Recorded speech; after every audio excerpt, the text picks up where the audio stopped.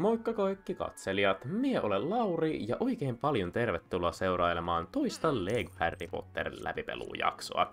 Ää, en tosiaan aio ruveta sönkyttämään tämän pelin koko nimeä tätä Lego Harry Potter Years 1-4 joka kertaa, koska jos mä sanon joka ikisessä aloituksessa ton, niin se vaan kuulostaa hirveän koomiselta, koska mä sönkytän sen kuitenkin väärin. Mutta joo, tuota, viime kerralla aloiteltiin tää pelailu, päästiin tänne Tylypahkaan asti ja siis Ihan ensiksi täytyy sanoa aivan valtavat kiitokset jokaiselle, joka katsoi sen viime videon. Siis tää pelailu sai ihan niinku, tajuttoman hyvän vastaanoton. Katoin tuossa just ennen videon kuvauksen alkua tän niinku, videon näyttökertoja, ja porukka oli katsonut tätä niinku, kuin 300 kertaa nyt siis tämän toisen videon kuvaushetkellä jos katsotte myöhemmin, niin se ekan jakson näyttökertamäärä voi olla vähän isompikin. Mähän siis en oikeastaan ikinä katon noita videoiden näyttökertoja, mutta noin niin kuin verrattuna joihinkin mun aiempiin videoihin, mitä nyt on joskus sattunut pitämään silmällä, niin tuo 300 on aika paljon. Että se on kyllä siis tosi hienoa, että te tykkäätte tästä pelailusta, koska mullakin on hyvä fiilis pelata tätä. Ja nyt me ollaan täällä Rohkelikon tupatilassa. Mä en tiedä, tällekin on varmasti olemassa joku nimi. Te Harry Potter-fanaatikot ja enemmän per asiaan perehtyneet voitte taas korjata mua näissä mun virheellisissä nimissä. Mutta joo, tuota, nyt kun me ollaan tällä tylypahkassa, niin täällä onkin nyt sitten kyllä nämä niin kuin kaikista hienoimmat asiat, mitä mä viime kerralla pääsinkin jo pikkusen puhumaan siitä, että on siistiä, miten tämä Harry Potter-peli saa käännettyä niitä Harry Potter-maailman esittämiä asioita ää, niin, kuin, niin hienosti Lego-pelin muoto, niin tässäkin meillä on tämmönen niin kuin hiton arkku, joka vaan syö jonkun tyypin vaatteet. Ja nyt se haluaa nähtävästi vielä lisää ruokaa, joten käännetään tuo taulu tuosta. Ja nyt siis, siis tässä, mä en muista, oliko viime jaksossa peräti jo näitä liikkuvia tauluja, mutta siis nämä niin kuin interaktiiviset taulut, eli siis semmoiset taulut, jotka nyt yleensäkin niin kuin liikkuu, ja varsinkin joihin niin kuin pystyy just mä pystyn ampumaan noita tauluja sun muuta vastaavaa, niin nuo on siis no, niin kuin yksi parhaista asioista tässä koko Lego-pelissä. En mä tiedä, kuuluisiko jälleen kerran Lauri 18V pelaamassa tyyliin. En minä tiedä minkä ikäisille suunnattua Lego-peliä, mutta aivan haipeissa. Ja tässäkin on tää, oliko tää lihaava lady vai mikä tän rohkelikon tavallaan niin kuin tupatilan sisäänkäyntiä vartioivan patsaan nimi oli vai laulava lady. Mä en muista mikä tuo nimi on, mutta sitäkin on niinku, ne on vaan siis ihan älyttömän hienoja. Eihän ne niinku pelillisesti, pelissähän ne ei ole sinänsä mitään uutta, että semmosia nyt niinku, tuommoinen on tosi helppo animoida, mutta varsinkin siinä elokuvassa se oli jotain tosi hienoa. Ja kyllä mä oon niinku peleissäkin tykännyt näistä.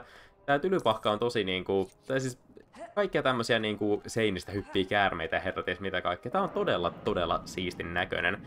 Ja tässä on kans yksi toinen tämän Harry Potter-sarjan ehdoton tavaramerkki, nimittäin nämä kääntyvät tuota, mitä nämä on kääntyvät portaat, liikkuvat portaat. Mutta joo tosiaan, ää, se, sekin mis, mis, mikä kertoo siitä, että te olitte pitäneet tästä pelailusta, niin tuohon viime jaksoon oli tullut ihan pirun paljon kommentteja. Kiitti jokaiselle, joka kommentoi, niitä on aina mukava saada.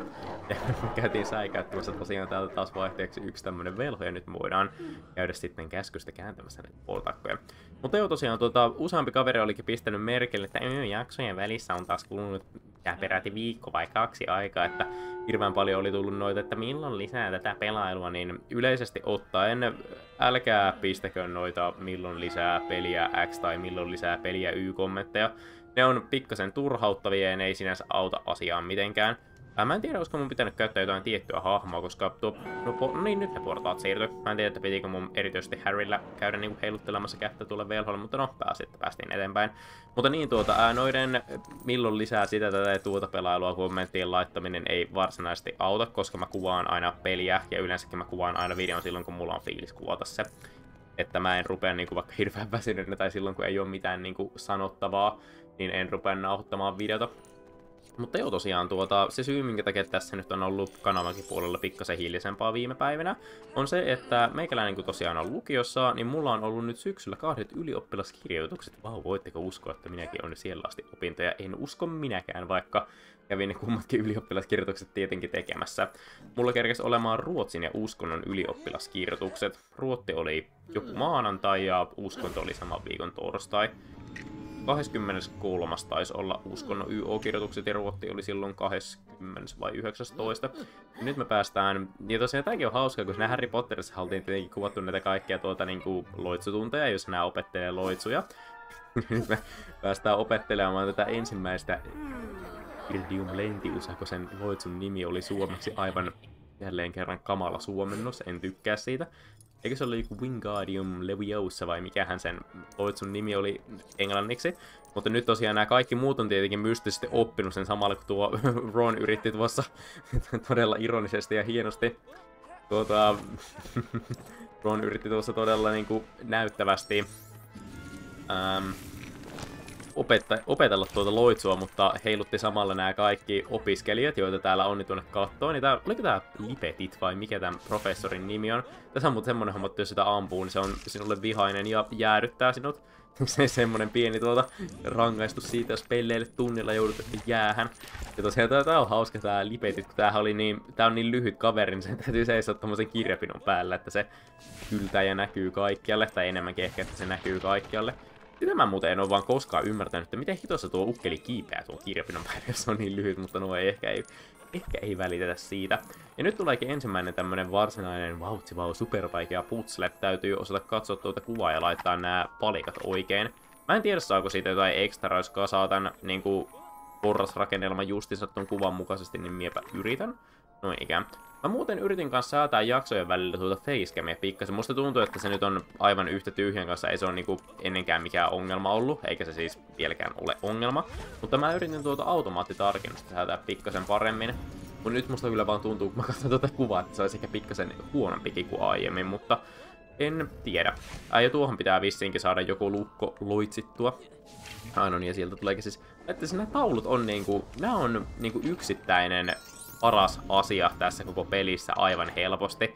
Mä vaan tykkään ihan tajuttoman paljon siitä. Ja sitä mä muuten en ymmärrä, että minkä takia tuon ihme käden piti ottaa kiinni tuo paino tuosta. Eihän se mennyt yhtä, no joo, en tiedä, ehkä mä en, ehkä en rupea kyseenalaistamaan jonkun hiton Lego-pelin logiikkaa. Mutta joo, tota, hei tosiaan nyt näitä kommentteja. Mä lueskelen täältä vähän, että mitä on tullut ää, tuota, Bubo oli laittanut, että olen pelannut tämän pienenä ja toi todella hyvä peli. Ja sitten Bubo oli laittanut myös toisen kommentin, että päätin ihan nostalgian vuoksi etsiä tämän pelin YouTubesta ja löysin kanavasi. Todella hyvä video, katsoin mielelläni. No se on mukava kuulla. Palautetta on aina kiva saada, olisi sitten positiivista tai niin kuin, jos laittaa asiallista kritiikkiä, niin sitäkin on aina mukava saada. Ää, ää, sitten tuota, tuota, tuota lueskelen nyt enemmän näitä aiheeseen liittyviä kommentteja. Tosiaan mä viime jaksossa kysyinkin siitä, että tykkääkö porukka enemmän siitä, että Lego-peleissä hahmot puhuu vai hyrisee menemään, niin Gonkki oli kommentoinut, että itse tykkään enemmän siitä, että noi hahmot vaan hyrisee. No, ainakin siihen vastaan, että siinä on kyllä, siinä on kyllä kieltämättä oma niin kuin, koominen elementtinsä, kun hahmot hakkaa tosiaan paistinpannulla itsensä päähän ja mitä kaikkea. On vaan, niin kuin, se osoittaa sitä luovuutta, jota Lego-peleissä on parhaimmillaan. Sitten tuota, no, tämä nyt ei varsinaisesti liity niin kuin tähän Harry Potter-aiheeseen, mutta Super Mario oli kysynyt, että onko mulla hyvä kunto. No, Super Mariolla todennäköisesti ainakin on hyvä kunto, kun täytyy, täytyy sienivaltakunnassa pyöriä vastustajana, mutta siis tuota, vastasinkin tähän, että siis en, en siis mitään kuin, urheilua varsinaisesti harrasta, mutta mulla on siinä mielessä kuitenkin niin kuin, ihan hyvä kunto, että mä tuota, tuota, apu, nyt ei mennyt taas tämä puhuminen onnistua. Niin, mulla on kyllä siihen nähen ihan hyvä kunto, että jaksan esimerkiksi juosta ja käynkin juoksemassa. En, en nyt ihan ellen viikoittain, niin vähintään joka toinen viikko. Ja kävelemässä käyn toki päivittäin, että kyllä jaksan juosta. Ja tuota, tuolla on vielä tuo viimeinen kaveri, miten se pitää saada alas. Yes. Tässä on myös hyvä niinku, tää hiton loitstunti on vaan Harryn, Ronin ja Hermionein esitys siitä, kun me käydään pelastamassa pulassa olevat oppilat. Opettaja itse ei tee mitään ja muut vaan seisoo tulla tyhjän panttina. Sitten tuota, Ekkukarkki oli kommentoinut, että on ajatellut ostaa tämän pelin, niin nyt tein päätöksen ja ostan sen. No se on hyvä tietää. Joista tosiaan näitä paikkojen nimiä, joita mä en muistanut, niin se hiton juna-asema oli tosiaan King's Cross. Mua, hitto mua ärsyttää, kun mä luulisin, että niin tietenkin on King's Crossin asema, mutta minä olin sitten vaan päässyt sen unohtamaan, kiitos kommentoimisesta. Aleksi Jaatinen oli laittanut kaksi asiaa, oli laittanut, että tämä on hyvä peli ja oli myös sanonut pelanneensa tämän sataprosenttisesti läpi. No se on kyllä jo melkomoinen saavutus. Tämä ei nimittäin ole mikään kaikkein lyhyin pelattava peli. Ja sitten tuolta Mr. Andrewilta oli tullut tämmönen niinku pit- pitkistä pisin kommentti. Täällä oli ekaksikin, että nostalginen peli on hänelle.